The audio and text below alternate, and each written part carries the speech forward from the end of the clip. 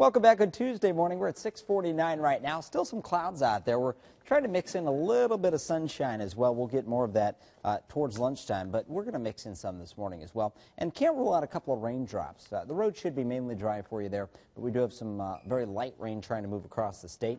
I'll show you that in just a sec. 44 temperature right now. Dew point upper 30, so the air is relatively dry, and the winds are calm this morning, so wind chill's not a factor. It's a good thing, too, because look at the temps in Ottumwa, 38, 34 Fort Dodge, only upper 20s up towards Mason City, 41 Lamoni, 43 in Council Bluffs. So notice the clouds coming across the state and some little areas of green showing up. That's the light rain or sprinkles that you may encounter this morning. Most of this, I was checking the ground observation sites, and most of this isn't registering. So a lot of this is evaporating on the way down to the ground, but uh, a few places in between some of those stations certainly may be seeing a few raindrops this morning, but nothing too substantial. Notice very light uh, returns here. The light blues rarely make it to the ground when the air is pretty dry. So that's all we're really seeing from Atlantic back towards Crescent. It's probably more or less clouds, maybe some virga or uh, rain that evaporates underneath the clouds. You might notice that over east of Knoxville as well. We're seeing a little bit of that. So here's a wider perspective. You'll notice there actually are some showers making it to the ground in eastern Nebraska this morning, and that's out ahead of a frontal boundary, which is going to be pushing across the state today.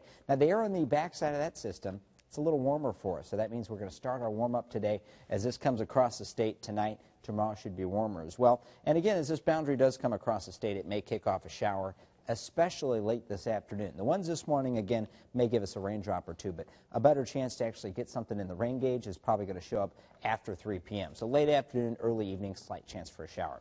Futurecast shows us that nicely. Notice this band of clouds here. That's the one we're seeing right now, and it's uh, our chance for sprinkles or a shower is within this, but it's going to mainly be clouds. Now, as we head into the later part of the afternoon hours, notice a little band of rain tries to set up from Osceola through Des Moines back towards Sioux City. It's a slight chance, but again, we may have that shower pop up late this afternoon, early evening. Rest of the night should be mainly dry until close to daybreak. We'll bring some more showers through. Those should push out of here by noon tomorrow. So best chance for rain Wednesday is going to be before lunchtime. Highs in the upper 60s to low 70s today. We'll call it a partly cloudy day. And again, an isolated shower possible. It'll be real light this morning. Better chance is going to be late afternoon, early evening. It's still pretty slight, though. 52 tonight. Scattered showers well after midnight. In fact, we'll say closer to daybreak Wednesday. Wednesday afternoon should be dry. Thursday, probably a better day to see a chance for off and on rain showers, mainly light rain showers through the day. And then as we head into Friday, 56, a little cooler there, and then 60 Saturday, close to 70 Sunday, and I think we'll be well into the 70s next week.